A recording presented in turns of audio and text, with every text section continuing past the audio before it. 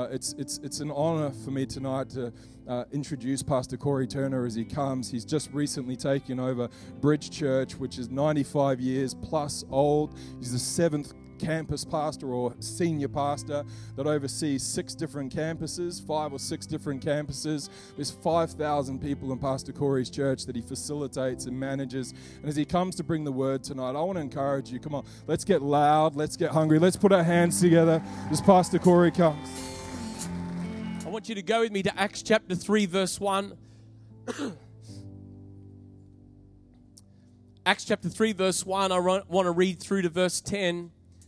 Thank you so much for your, your love, your hospitality, and, and I just love your pastors, and I love the heritage and history of this house. I believe that uh, Surf City Church is in the bullseye of God's plan and purpose at this time, and that God is wanting to turn those things that the enemy's meant for evil into good for you. And uh, one of the reasons why I keep coming back is not just because of the relationship that I've got with, had with pastors Richard and Erica, but also with uh, Justin and Chrissy. But it's, but it's also because I just believe that there is prophetic destiny in this house that needs to be birthed. It needs to be spoken to. It needs to be declared. And I'm committed to seeing city churches just flourish and multiply. Thank God for what He's doing in the suburbs, but it begins in the city. It begins downtown, and what's downtown starts to flow into the outer regions and areas. And there's there's revival on this house. There's a spirit of revival on this house. It's on Jason and Naomi. It's on different people in this room. There is the, the mantle of revival, and you've got to contend for it. It will only be birthed through prayer, faith, and action. Prayer, faith, and action. And so I want to speak to something called the normal Christian life tonight. What is the normal Christian life? Well, the Bible says in Acts chapter 3, verse 1 Now, Peter and John were going to the temple at the hour of prayer, the ninth hour. And a man lame from birth was being carried, whom they laid daily at the gate of the temple, that is called the beautiful gate, to ask money of those entering the temple. Seeing Peter and John about to go into the temple, he asked to receive money. And Peter directed his gaze at him, as did John, and said, Look at us. And he fixed his attention on them, expecting to receive something from them. But Peter said, I have no silver and gold, but what I do have I give to you. In the name of Jesus Christ of Nazareth, rise up and walk. And he took him by the right hand and raised him up, and immediately his feet and ankles were made strong. And leaping up, he stood and began to walk and entered the temple with them, walking and leaping and praising God. And all the people saw him walking and praising God and recognized him as the one who sat at the beautiful gate of the temple asking for alms or money. And they were filled with wonder and amazement at what had happened to him. We're speaking about the normal Christian life. The first miracle I saw as a young man, as a, in my early, early adolescent years, was of someone being ministered to who had a leg significantly shorter than the other, and they were wearing a shoe that had been built up at least a couple of inches, if not three inches. They took the shoes off, and you could see the noticeable difference. And this person was prayed for, and I literally, in front of my eyes, saw the right leg just shoot out and grow right in front of me. Now, as a young man, that impressed me and impacted me so much. But what it did do is it developed within me an appetite for the supernatural. You see, if you don't have an appetite for the supernatural, you won't walk in the supernatural. If you're not hungry for it, you won't be filled with it.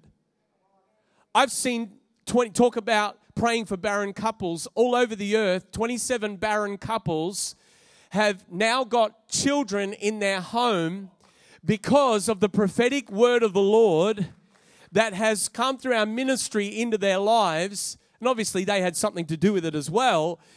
But, but I've seen now so many miracles and things take place that, that I'm just convinced that the normal Christian life is a spirit filled, supernatural, miraculous life and, and as much as I've seen miracles, we've got to keep contending for more.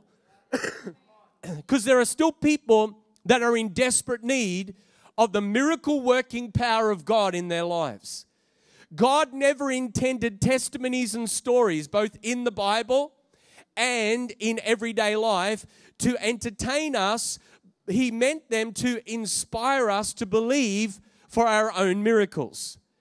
Some of us have got to stop reading the testimonies and stories of what happened in the past, and we've got to start believing that God is going to do the same thing through our lives. I don't want to become a professional explainer of why nothing happens in the kingdom of God.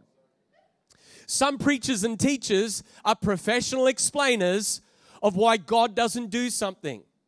God does not need you to advocate for him as to why things aren't working.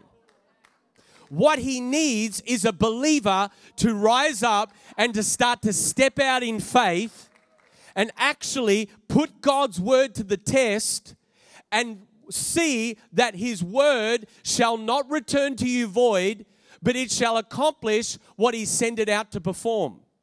I don't know about you, but I just get sick and tired of hearing Christians talk about, well, I tried tithing one time and it didn't work, so I don't tithe.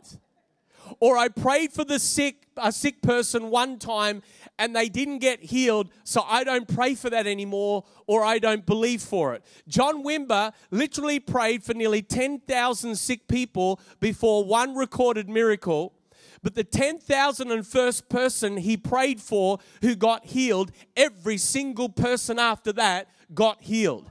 How much is it going to deter you? What is it going to take to deter you to stop believing for the supernatural, miraculous intervention in your life?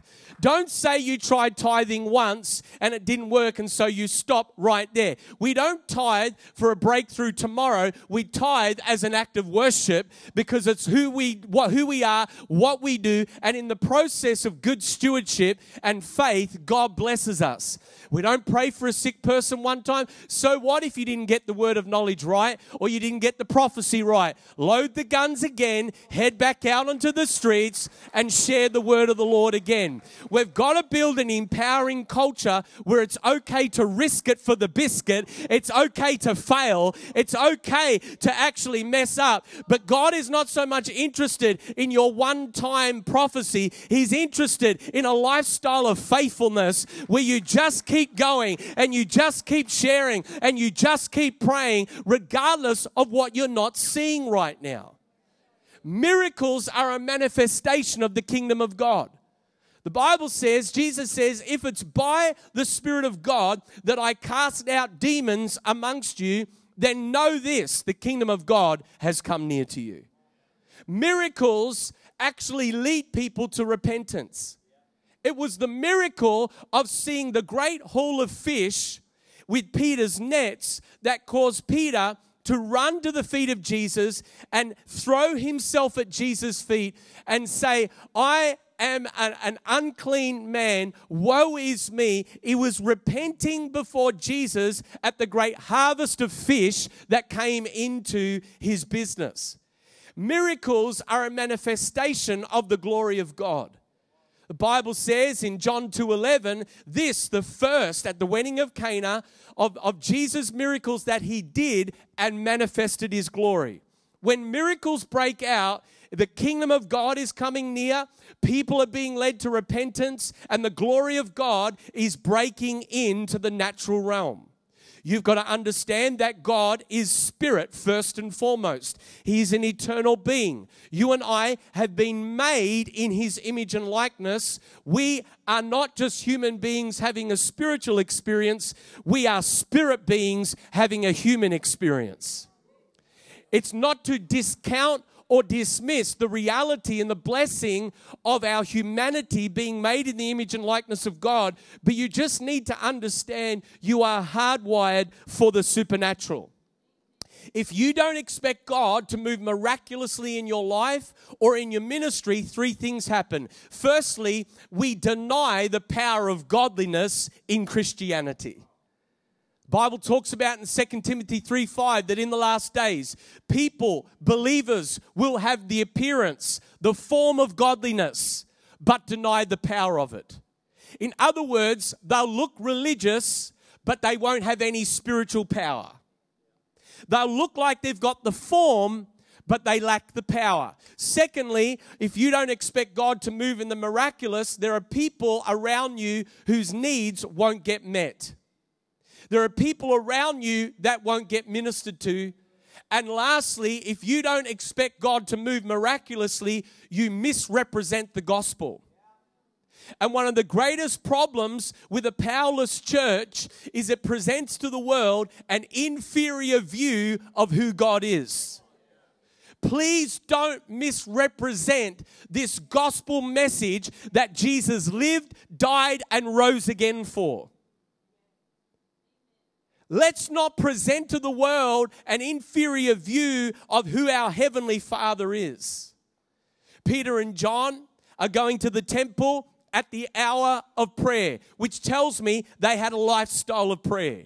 If you want to increase supernatural activity in your life, you've got to find your hour of prayer. You've got to find that lifestyle, that rhythm in your life where it's just a normal part of your life to lock yourself in that closet, to lock yourself in that secret place, shut the door, and begin to seek God with everything within you. They come to the gate beautiful. There is a man that is lame from birth. He is a mature adult. That's why people are shocked after the miracle happens that this actually happened to him. He did not get injured. He was lame from his mother's womb and he's asking for money thinking that money is what he needed. Many of us think that the practical material resources of life are what we need. You may have a need for that, but there is a greater need, and that need is that your thirsty and hungry soul needs to be satisfied with the rivers of living water that only Jesus can provide in your life. And so they're walking down Cavill Avenue, and here is a man lame from birth asking for money, and, and Peter says, Look at us, and this lame man expected to receive money from them, but he got something that was far greater and far more important. I, my heart is saddened when, to be honest with you, in our secularized culture, Australia does not look to the church anymore for answers. It looks to industry, it looks to celebrities, it looks to athletes, it, it, it, looks to people who are successful in the eyes of the world. And if you're successful in this culture, people will look to you. But there was once a day where people used to look to the church for answers. And part of the reason why they looked to the church is because the church was not just carrying the form, they were carrying the substance. And we actually need to begin to return to a renewal of the pattern that was shown us in the Gospels and in the book of Acts. And, and then also realize God doesn't want us to simply just go back. He wants to propel us forward because He said, even greater works than these shall you do.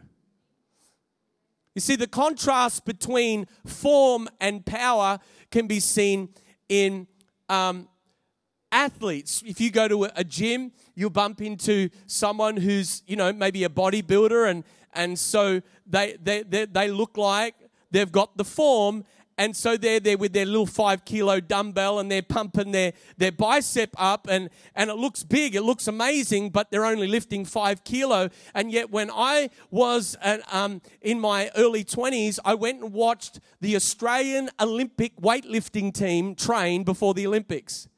And when I went there, there was this little guy who was 54 kilos who was lifting over his head three times his body weight. And I'm like, how is this guy doing this? He doesn't look strong. He doesn't look like he's got the form like the bodybuilder lifting five kilos with his little bicep. But he has the substance. One has the form, the other has the power. Inside of his muscles, over many years of training, was a density of power to weight ratio that although he didn't look the part, he was carrying the substance. Let me tell you something. As cute as your outfit may be, what you look like does not matter. What the real issue is, do you have any power? Do you have any substance? Do you have any faith that can actually shift atmospheres and change people's lives? Dress yourself up, do the best you can with what your mother gave you. But all I'm telling you is, in the kingdom of God, it's going to take more than a cute outfit to actually see transformation. It's going to take some faith and some substance and some power. 1 Corinthians 4:20 says the kingdom of God doesn't consist of talk, it consists of power. You see, many Christians believe that the goal of Christianity is that we would be well respected citizens in our culture. That is not the goal. The goal of Christianity is transformation. Transformation is about people who were once in darkness come into light. People who were once broken are made whole. People without purpose and destiny discover their calling. People who were lost are now found. People who had no call to leadership on their life are now leading and building God's house. The goal is not to be well respected by the government, by the media, or by corporate industry. That is not the goal. The more I read the Gospels and the book of Acts, the more I see they caused havoc everywhere they went. Not because they were trying to offend people, but because they were so hungry and captivated with the gospel of Jesus Christ. Hungry to see lost people saved. That everywhere they went, the, Bible says they turned the world upside down. If your goal is to be a well respected citizen, you're missing the point of being a part of the kingdom of God. The goal is to walk with Jesus in such a way that we accurately and authentically represent him in the world around us, thus bringing transformation.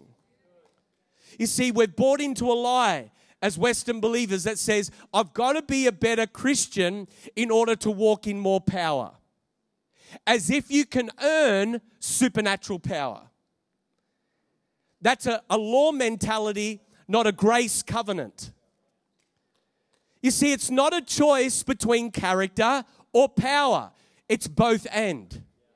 It's not a choice between fruits of the Spirit or gifts of the Spirit. So, what a lot of Christians do go, well, if I can't access the power of God and I can't access the gifts of the God, let's just emphasize the fruits of the Spirit. And yet, Jesus was the Son of God. And yet, the Bible says in Luke 4, the Spirit of the Lord is upon him because he has anointed him to preach good news. If the Son of God had to be anointed with power to carry out his ministry, how much more you and I?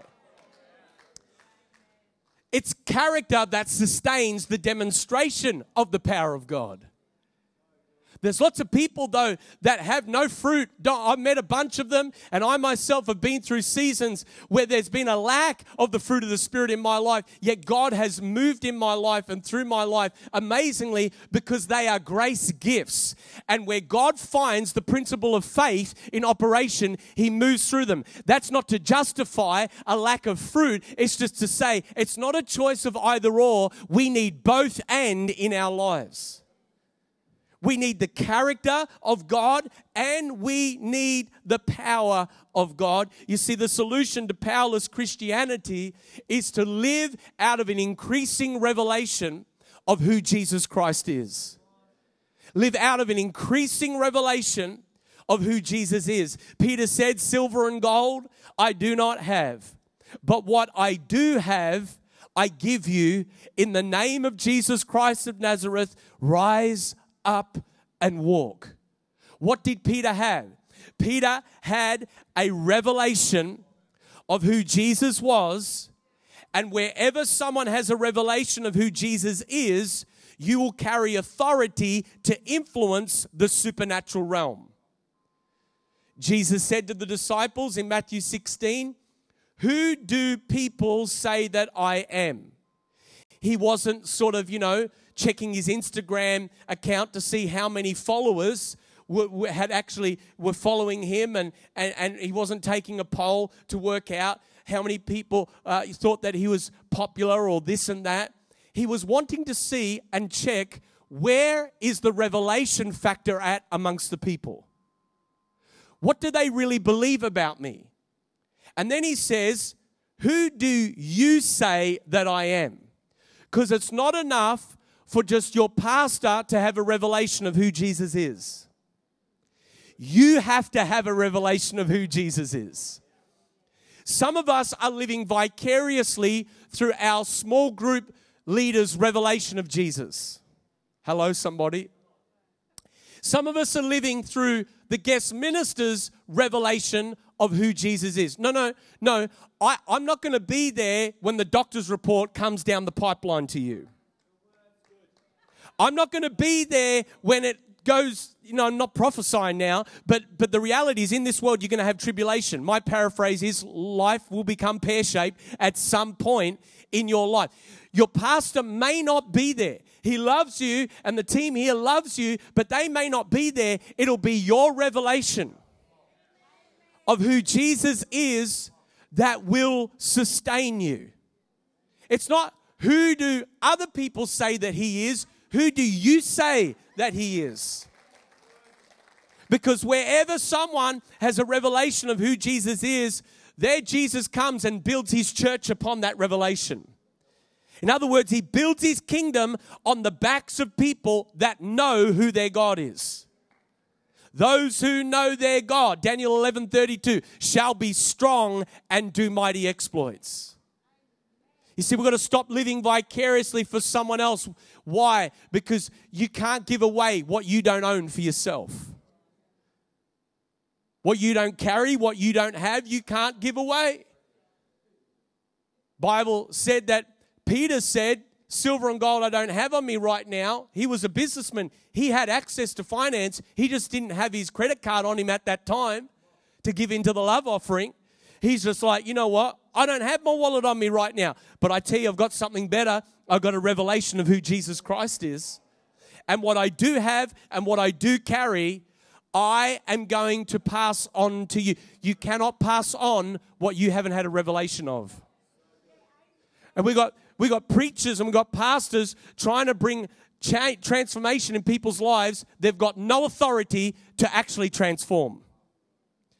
I cannot help you in an arena of your life I have not already conquered myself. Where I don't have a revelation from God's word or I'm walking in victory in that area of my life, I can't actually help you. What I can do is actually point you to the Word of God, point you to someone else who is walking in that authority, and actually help you to get breakthrough in that area but please don't try and help people to get authority in an area where you are not walking in authority. So if you're walking in miraculous provision in your own life, then you can actually help people walk in miraculous provision. You can only impart what you carry yourself. Acts 1 8 says, But you shall receive power when the Holy Spirit comes upon you, and then you shall be my witnesses. There's a connection between power and witnessing. When I was in the police force 20 years ago, we turn up to a crime scene and the sergeant would say, okay, go and get statements, go and find witnesses. And generally, there'd be dozens of people at a crime scene, sort of the excitement of it, and, and it was quite a, a morbid thing, but people would hang around and watch and just observe. And people would come and you quickly worked out who were the real witnesses from those who were just passing on what we call hearsay evidence. And you'd start to ask some questions. And at first they'd say, Oh, yeah, I, I saw it all. But then you worked out they were simply repeating what they heard someone else saw, what they heard someone else witness to. And so that evidence was hearsay evidence. It's inadmissible in a court of law. You cannot present hearsay evidence many believers are passing on a hearsay witness to the world around them. They never walked in it, they never discovered it, they never grew in, in their own uh, personal secret place with God in it, but they're passing it on and they're wondering why there's not breakthrough. I, I want to encourage you don't become a hearsay Christian. Become a Christian that owns it, that carries it, that walks in it, and then you can impart it away. If you aren't an eyewitness, you're a false witness. And we've got to start to actually position ourselves to say, God, thank you for the stories. Thank you for what you did. Thank you for what you've done. But I want to see it in my own life. I want to move in it in my own life. We've got to contend for the miraculous. Miracles are not the market share of guest ministry. Miracles belong to every single believer in this room because this is your kingdom inheritance. If miracles are lacking in your life, don't be satisfied with simply accumulating knowledge. What a lot of Christians do is when the, the, the sort of the supernatural dials down, the sort of theoretical knowledge dials up and, and they start to use the theology to justify the lack. If there is a lack uh, of the supernatural, the lack is never on God's end. The lack is always on our end. And if your theology does not allow or does not make room for the supernatural and the miraculous in your life, best get an upgrade of your theology because the Bible shows us through Jesus' life, let alone the early apostles, let alone Genesis to Revelation, that we are in relationship with a supernatural God. And that there are supernatural happenings and events that take place in relationship with this supernatural God. Jesus did not say, Greater knowledge than this will you know. Jesus said, Greater works than these will you do. Knowledge must transfer to action. Knowledge must transfer to power. The chief obstacle to living out a revelation of who Jesus is is to tolerate a Christianity where miracles are the exception, not the norm. You see, Matthew 10 7, Jesus said, Proclaim as you go, saying the kingdom of God is at hand. Heal the sick, cast out demons, raise the dead. Freely you've received so freely give. Jesus expected that miracles would be a part of the normal Christian life. So, again, if there is a lack of the miraculous in our life, the lack is never on God's end because God is exceedingly good. He's eternal. He's almighty. He's all knowing. He's everywhere present. There is no lack in God. It's not because it's a lack of God's will, the lack is on our end. The disciples, when they couldn't cast a demon out of the boy, came to Jesus privately and did not say, Why couldn't you cast it out? They said, Why couldn't we cast it out? And Jesus said, Because this kind only comes out through real hunger in prayer and fasting. You see, salvation is free. But if you want to grow in a greater anointing, you're going to have to pay a price. No one wants to hear that. Everyone wants the anointing to come that breaks yokes and bondages to just simply be, you know, just by because I believe it. Your faith will, will take you so far. And, and yes, it begins with faith, but then there is, there is a price to be paid, not as earning your salvation, but as growing in a richer anointing of God's Spirit upon your life. If Jesus had to do 40 days of prayer and fasting, the Son of God, before he began his ministry. What do you and I need to do? But we want miracles on the cheap. We want revival on the cheap. We just want to turn up to church Sunday morning and Sunday night and see the heavens open. But I'm telling you, it's going to require some hunger. It's going to require some prayer. It's going to require some positioning. It's going to require someone to get out of their comfort zone into the discomfort of someone else's life for revival to truly come. If God has revival intended for you, In fact, as he does for every single church in this nation, it'll only come because someone in this house took that word seriously and said, I'm going to position myself. I'm going to pray. It doesn't matter how long, it doesn't matter what people say. I'm going to seek God and I'm going to be a carrier of the revival anointing upon my life and upon this house and upon this ministry. It's going to require you to get out of your comfort zone. You see, the issue when it comes to a lack of miracles comes back to a lack of hunger and a lack of renewal of our mind. If you're not if you're not hungry for the things of God, you're not going to see a move of God's spirit. I remember I was in Adelaide last year and I was at a prophetic meeting and God shows me this man and uh, I see this 19, I see this black and white Chevrolet, this muscle car with the number 1957. And God showed me, and I start to tell this man this picture. God showed me that th- this man was driving this car, it was his pride and joy. There was an issue in the engine of the car that he couldn't fix. He called this uh, chief mechanic to sort of come and fix the um, engine block of the car and and what he couldn't fix, this specialist mechanic came and fixed. And then he jumped in his car and drove off into the sunset. And God gave me the interpretation. I said, You are that, like that 1957 black and white Chevrolet, and uh, you're here tonight because you're hungry because there's an issue in your life that you haven't been able to fix. Little did I know, his wife and kids were sitting in the same row. Little did I know, none of them were believers. And they're all sitting there, invited to this meeting, and he starts to weep. And I said, But I said, Tonight you've come to the chief shepherd, the chief mechanic of your soul, and he's going to minister to you and he's going to fix this thing in your life, right? I start to give this word of knowledge. I said, Does any of this make sense to you? He says, I am a mechanic that specializes in fixing muscle cars. And this afternoon in my auto shop, I was working on a black and white Chevrolet that was made in 1957. Who do you think was the first family out the front in the altar call giving their hearts to Jesus, surrendering their life to Christ?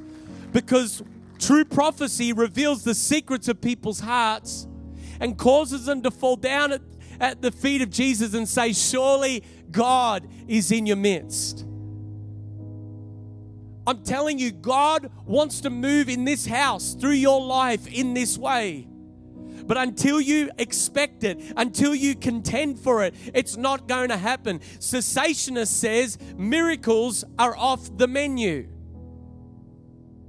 Have you ever been to a restaurant where you began to order stuff and they said, uh, that's not on the menu. We've run out of that. Have you ever been? No, no, no. That's right. I went to a restaurant in Melbourne one time. Three things I wanted to order were off the menu. I was ready to throw the menu at the waitress, and I'm like, "You tell me what I can order," because apparently Nothing I order is on the menu. The kingdom of God is not like that. Miracles are still on the menu of God's word.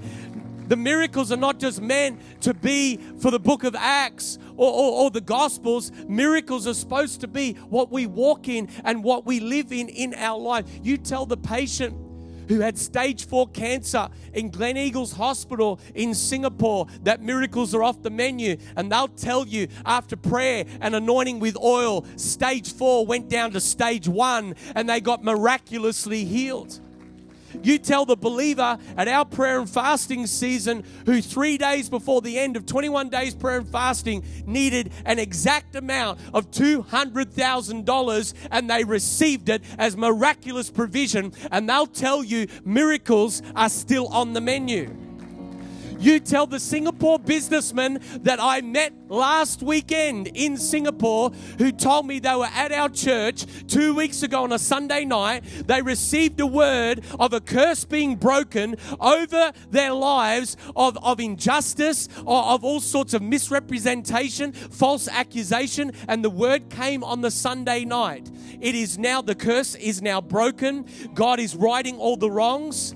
In 24 hours, a six year legal battle with the Indonesian government was cancelled in one phone call where a government official said, We are dropping the investigation. We're dropping all of the charges. We apologize for any inconvenience that this caused you. You tell him that miracles are off the menu. Miracles are still on the menu. You tell 27 barren couples that miracles are off the menu. And they'll say, No, no, no. My, my family, my story is, is a miracle story. Miracles are still on the menu. How, how do we integrate the miraculous into our lives? We exercise faith in Jesus' name.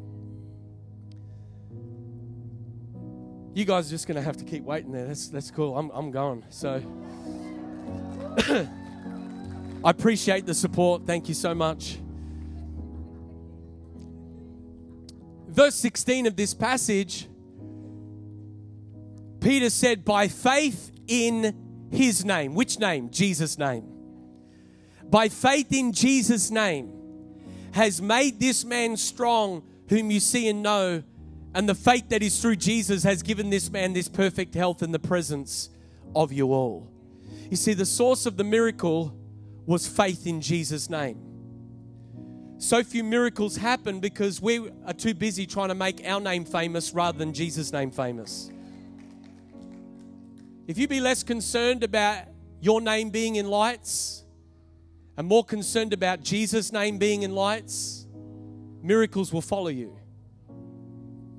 We're so caught up in a, a, celebrity culture and it's come into the church and there's nothing wrong with having heroes of the faith. God raises up people and he pulls down people. But the issue is what is your motive? What's your agenda? Why do you want that? Because as long as you want your name to be famous, miracles won't follow you. As great as your name is, as great as Pastor Justin's name, my name. Don't, don't start walking around going, in the name of Justin, be healed. It's not going to help you. In the name of Corey, be healed. In the name of JJ, be. It's not going to help you. But there is a name that's above every other name. That at the name of Jesus, every knee should bow in heaven and on earth and under the earth, and every tongue confess that Jesus Christ is Lord. And when you begin to exercise faith in the name of Jesus, miracles start to happen. It's an amazing reality. But where you don't have a revelation of his name, where you don't have faith in his name, there won't be any miracles. But the moment you start to walk in this and say, Father, would you give me a brilliant picture of who Jesus really is? Would you show me? Would you open the scriptures to me and help me to encounter the, the living gospel in the form of Jesus? And would you mark my life with this gospel? Would you imprint my heart with this gospel?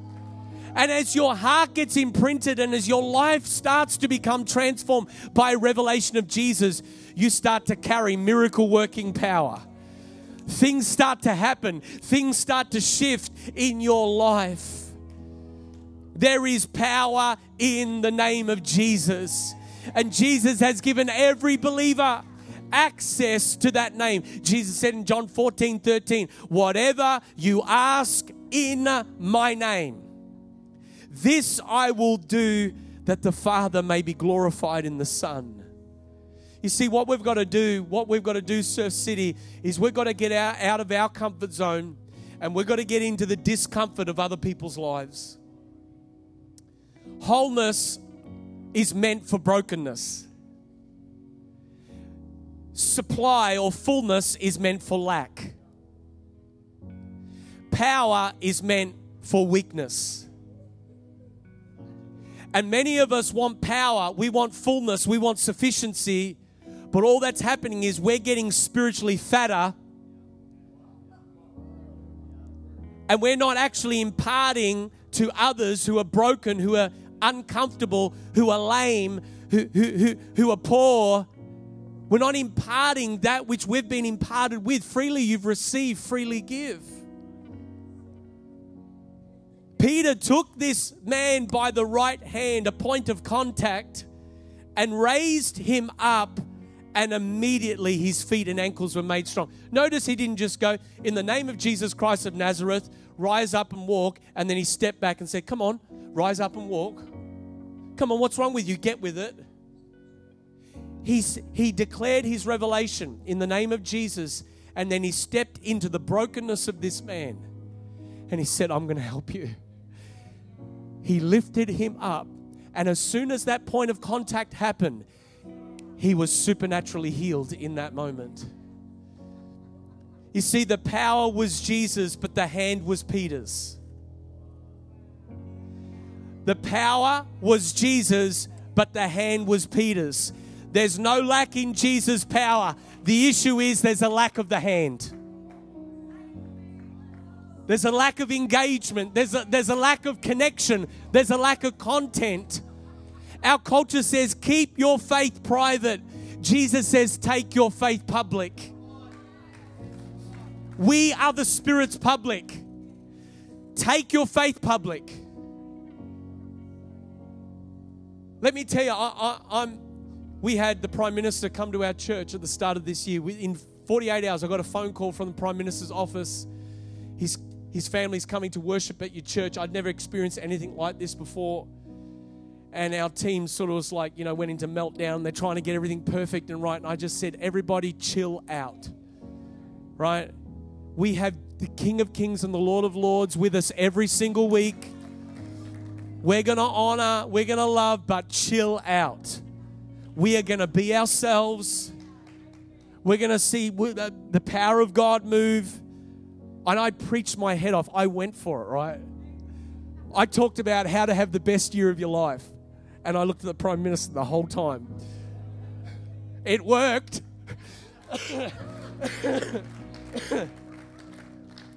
Whatever your political persuasion is, it worked. And so, but let me tell you, our Prime Minister is a Christian, yes. Is spirit filled, yes. I met his family, beautiful family, humble.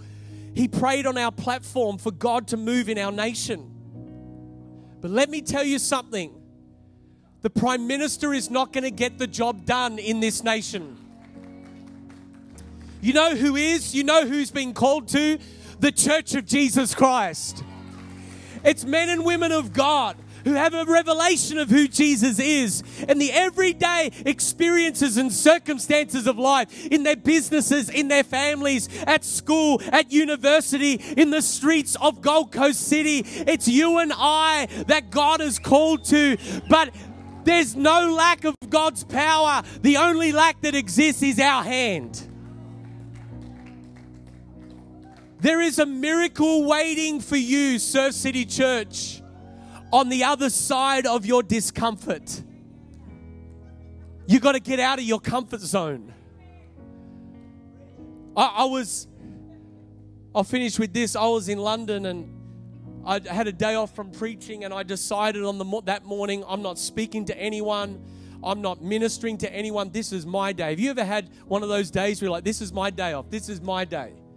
I'm not, I'm not, you know, I've been preaching my head off and I'm like, I need rest, Lord. I need a day off. So I decide I'm going to go visit the Queen. So I go, I got my wallet, I got my headphones, I go to the bus stop and I'm like, I'm feeling good. I'm going to visit the Queen. So I put my headphones in. I'm going to shut out the world around me. I'm in my comfort zone, I'm in my special happy place. And the bus is unusually late. And next to me there is this human being made in the image and likeness of God that I'm ignoring, right? And they're looking at me like they want a conversation, and I'm sort of just casually turning my body away just to sort of look like I'm just focused on something else. You've done it too, don't look at me. So, like, don't judge me, you've done it too. And, and so I'm there, and I'm sort of turning away. I've turned my music up. No, Jesus, not today. I'm not talking, I'm not preaching today. I'm not witnessing today. I'm in my comfort zone. And the bus is like unusually late. And the Holy Spirit says, Take the headphones out and talk to this guy. And I'm doing all my all I can to resist until finally, you know what happens? Jesus generally wins. And so I take the headphones out and I turn to this guy and I start to have a conversation. And he asked me, What are you doing in London? And I thought, Brilliant, this will kill the conversation. Because for me, when I tell people that I'm a preacher, generally the whole conversation nosedives or it just catapults forward, and that's where the fun really starts, right? And so I'm hoping, I'm trying to lay it on thick, you know, like I'm a fire breathing prophet who's going to call fire down upon you if you keep talking to me. So just turn away, right? And, and so, and so I'm laying it on thick and he's interested. He's like smiling and asking me questions. I'm like, dear Jesus, I just want a day off. And, and, and so the bus comes and we hop on the bus and I say, well, have a great day. He comes and sits next to me, right? We're on the bus 45 minutes. I didn't realize, but he missed his bus stop 20 minutes before.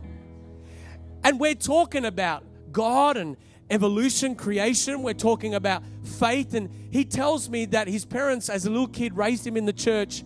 But for the last 20 years, he's walked away from God, walked away from it all, has not wanted anything to do with it. But I could see his heart starts to become open to the gospel we hop off my bus stop and we're on a street corner in, in downtown London. And I looked at him and, and we're sort of looking at each other like, we're going to part ways now.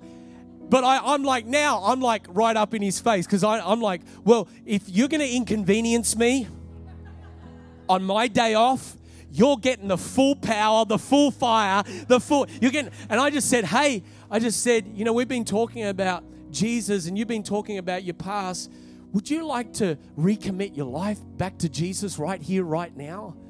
And he said, Can I do that right here? I said, Of course you can. And so I start to pray for him. I lay my hand upon his chest and we and he lifts his arms in the air in a street corner in London and he starts to pray the sinner's prayer and after he finishes the prayer he starts to roar speaking in tongues. And I'm there and I'm like just tone it down a little bit and he's shouting in tongues. And, I, and, and I'm like, and so then I'm laying hands upon him, and then he's starting to get slain in the spirit. So now I'm the prayer and the catcher. You have to be very talented to do that, by the way.